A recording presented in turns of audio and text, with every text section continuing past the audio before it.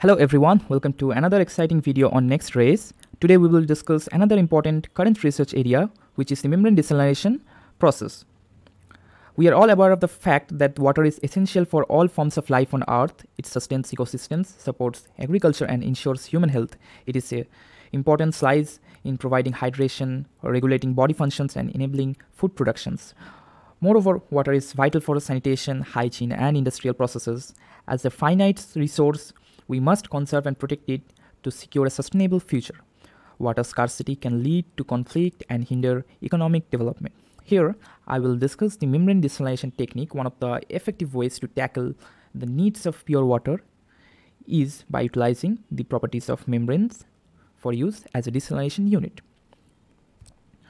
Desalination is a process of removing salt and other minerals from seawater or brackish water to produce fresh water suitable for various purposes, including drinking, industrial use, and irrigation. The primary goal of desalination is to address water scarcity in regions where access to free water is limited.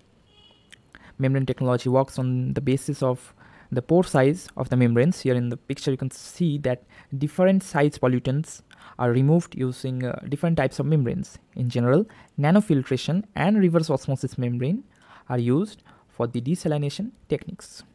In membrane desalination, specifically in the context of uh, reverse osmosis desalination, the following procedures occur. Pre-treatment, um, before water enters the RO system, it goes through pre-treatment to remove larger particles, sediments, and other impurities. Pre-treatment helps protect the RO membrane from fouling and damages. I will discuss about the fouling in the latest slide. Then uh, coming to pressurization, the pre-treated saline water is then pressurized using a pump. This pressure is applied to overcome the natural osmotic pressure and force water molecules to pass through the semi-permeable RO membrane. Membrane separation, the pressurized saline water is introduced to the RO membrane, which is semi-permeable barrier with a very tiny pores, very tiny pores. These uh, pores allow only water molecules to pass through while blocking the larger dissolved salts, um, ions and impurities desalination as water molecules pass through the membrane. They leave behind the concentrated salts and other impurities forming uh, what is known as brine or reject stream. This uh, brine contains the uh, removed salt and is discharged from the RO system. Freshwater collection on the other side of the membrane the freshwater which has passed through is collected. This freshwater is now significantly reduced in salt content and is suitable for various purposes such as drinking irrigation and industrial uses as i have discussed earlier then uh, post treatment after desalination, the freshwater might undergo post treatment to adjust its pH or uh, maybe it need to remineralize it and ensure its quality meets the desired standards. Um, membrane fouling. Membrane fouling refers to the accumulation and deposition of unwanted substances on the surface or within the pores of membrane leading to reduced membrane performance and efficiency. Membrane fouling is a common challenge in various industrial processes where membranes are used for separation, filtration, and purification purposes. To mitigate membrane fouling, various strategies are employed, like pre-treatment, uh, implementing uh, effective pre-treatment processes such as coagulation, flocculation, and uh, like uh, sedimentation and microfiltration can help remove larger particles and organic matter before they reach the membrane.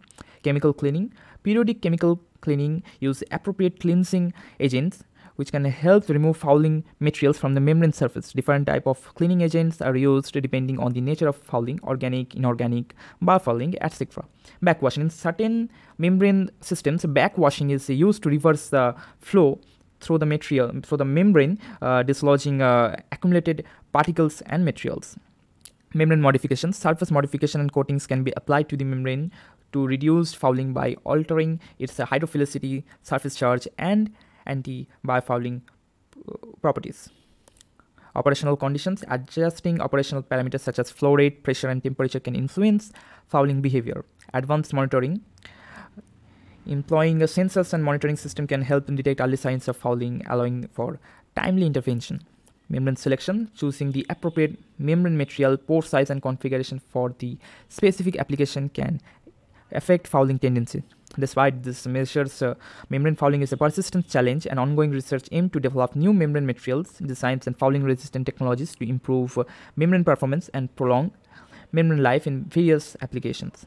The size and characteristics of membrane pores play a significant role in desalination process when using membrane-based separation techniques such as reverse osmosis and nanofiltration.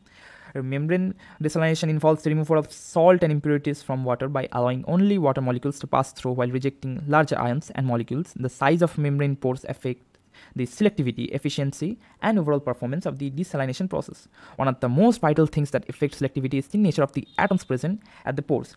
If the pore surroundings are electronegative in nature, it would facilitate the rejection of cations like sodium and potassium, whereas uh, if the pore is electropositive in nature, it would help in the rejection of anions like chloride.